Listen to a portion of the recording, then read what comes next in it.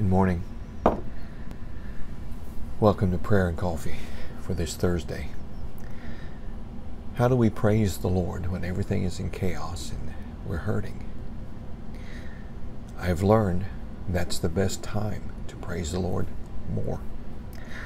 In Acts 16, Paul and Silas are on a missionary journey, planting churches when they run into trouble for preaching the gospel and for using the name of Jesus to set a young woman free. Acts 16, verse 22 through 24. Then the magistrates rose up together against them, and the magistrates tore off their clothes and commanded them to be beaten with rods. When they had laid many stripes on them, they threw them into the prison, commanding the jailer to keep them securely. Having received such a charge, he put them into the inner prison and fastened their feet in the stocks. Many are feeling in this current crisis that they have been beaten up and it's left you cut off and alone with no way out. That's where Paul and Silas are. They're beaten up, cut off, and alone. And in that moment, in verse 25, at midnight, Paul and Silas were praying and singing hymns to God, and the prisoners were listening to them. Even in the darkest times, when everything seems in chaos and turmoil, and when you feel beaten up, when we pray and worship God, things can change.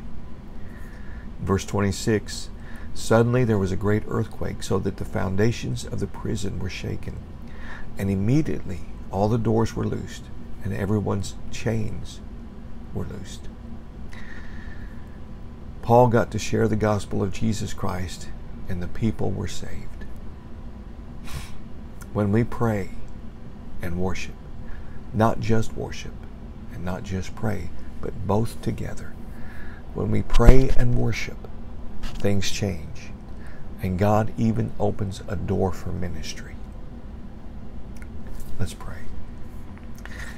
O Lord, my strength, the Lord is my rock and my fortress, my deliverer, my God and my salvation in whom I trust, my shield and the horn of my salvation, my stronghold. I will call upon the Lord who is worthy to be praised. So shall I be saved from my enemies. You have also given me the shield of your salvation. Your right hand has held me up.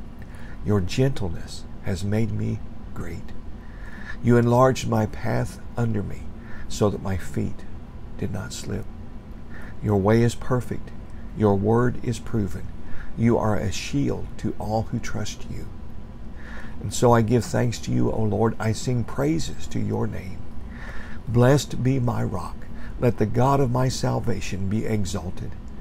In the name of my Savior, my deliverer, Jesus Christ.